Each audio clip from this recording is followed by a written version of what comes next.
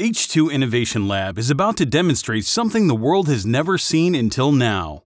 Clean, endless, and self sustaining energy is considered to be the holy grail, and H2IL is about to demonstrate this in a real world application. Never before has more than 100% energy efficiency been achieved or demonstrated using medium conversion from electricity to hydrogen, then back to electricity.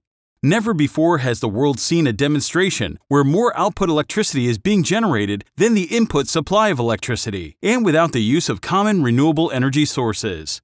While the world of physics is attempting to achieve this degree of efficiency for a one minute period using nuclear fusion, H2IL is achieving a sustainable 20 fold or 2000% efficiency, not for just one minute, but constantly.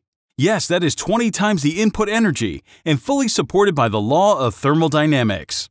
Several tests have been performed using a small suitcase demo version of this game changing energy technology. The generated pure hydrogen is fed directly into a PEM fuel cell, where it is converted back into electricity. The output electricity is measured and monitored alongside the input electricity. All data is lodged along the real time interface captured on screen. 8 camera CCTV recording with and one channel viewing back on its TV monitor ensures no post editing or trick photography has taken place.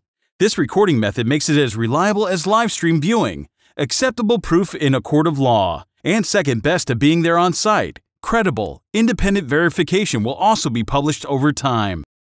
If you have an interest in renewable energy at any level, then you want to view this report. Be sure to keep posted to the verification page of the H2 Innovation Lab website.